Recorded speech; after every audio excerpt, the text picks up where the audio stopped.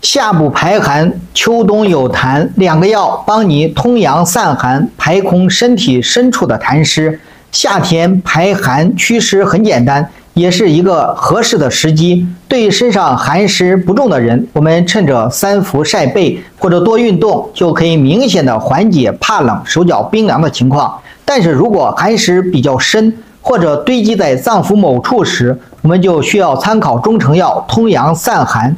否则痰湿加重，到了秋冬就会出现毛病。因此，今天给大家介绍两个中成药，排空深处的寒湿。首先，桂附理中丸，这种适合阳虚、寒湿藏在脏腑深处的人。这种人往往到了夏天也容易出现怕冷、畏寒的症状，尤其是坐在空调房里，温度一低就手脚冰凉，恨不得裹上毛毯。平时也容易出现一些出虚汗。或者是胸闷、呼吸气短、脾胃不好，稍微吃点就饱；或者是食欲不好，容易胀肚子，吃凉的容易肚子窜稀等，并且伴随着一些腰冷、小腹凉、腰酸、冷疼等等情况。大便往往溏稀不成形，舌象伸出来，胖大有凹陷，苔滑湿。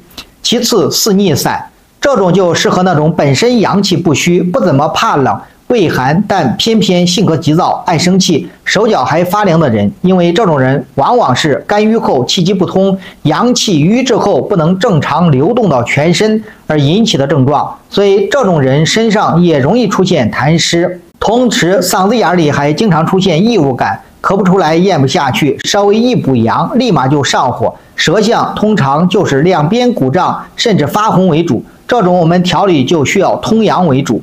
那以上就是今天分享的内容了。如果身体不适，请及时线下就医，不要在拿不准自己情况的时候盲目用药，否则是无效的，甚至会加重病情。我们下期再见。